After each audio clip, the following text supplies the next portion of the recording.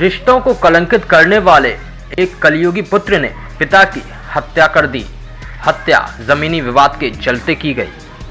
उन्नाव थाना के ग्राम सरसई सड़क मार्ग पर बीती 3 दस 2018 की शाम को मूलचंद्र पुत्र शिवराम कुर्मी 60 साल की गोली मारकर हत्या कर दी गई थी और मौके से अज्ञात आरोपी फरार हो गए थे।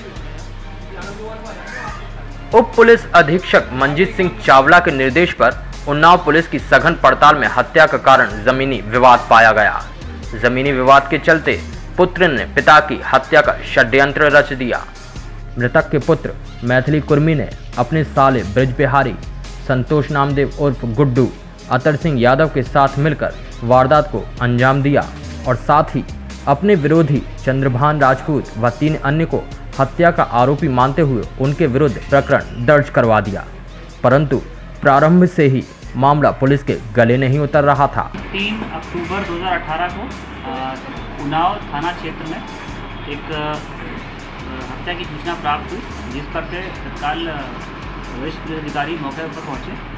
वहाँ पर पता चला कि उन्नाव थाना अंतर्गत एक खेत में एक मृतक मूलचंद कुर्मी, पुत्र शिवराम कुर्मी, उम्र 60 वर्ष, निवासी मड़गुआ थाना चिरगांव जिला झांसी।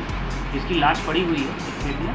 और मौके पर उसका पुत्र मैथिली शरण और ब्रज बिहारी पटेल उस बस्ती जो उसका दामाद लगता है, ये लोग बैठे थे। इन्होंने ये सूचना करी कि चंद्रभान राजपूत, जो बराठा का रहने वाला है का वो अपने कुछ सहयोगी साथ आके वहाँ रास्ते में खड़ा हुआ था और उसने गोली चलाकर उसकी हत्या करी है।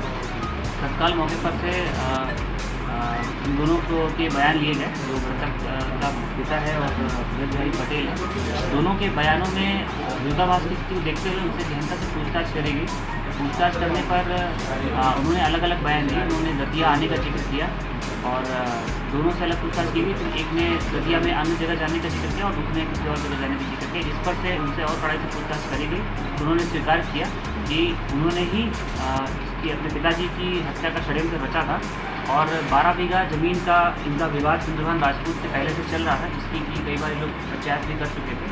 और उस, उसी मामले में चंद्रभान राजपूत को झूठे मामले में फंसाने के लिए इन लोगों ने शहरी रचा और संतोष नामदेव, गुड्डा और गौरीशंकर सेन और अतर सिंह यादव निवासी सरसई, इन लोगों को वहाँ सड़क पर बुला के इनके द्वारा उसकी हत्या करवाई। और चंद्रभान राजपूत का नाम लिखवा दिया इन लोगों ने अपना गुनाह कबूल किया है और इनके कब्जे से जो घटना में प्रयुक्त करता है वो जब्त किया गया है। इनके यहाँ से जो उनके कपड़े वगैरह हैं वो भी जब्त किए गए हैं। मामला विषय तीन सौ दस हज़ार रुपये का नकद किया जाँच के दौरान शक्ति सुई मैथिली पर आकर थम गई। पुलिस ने जाँच में हत्या के आरोप में मैथिली सहित तीन अन्य पर धारा 341, 307, 302 व 34 के अंतर्गत प्रकरण पंजीबद्ध कर गिरफ़्तार कर लिया। दतिया से प्रशांत श्रीवास्तव की रिपोर्ट, बुंदेलखंड टुडे, झांसी।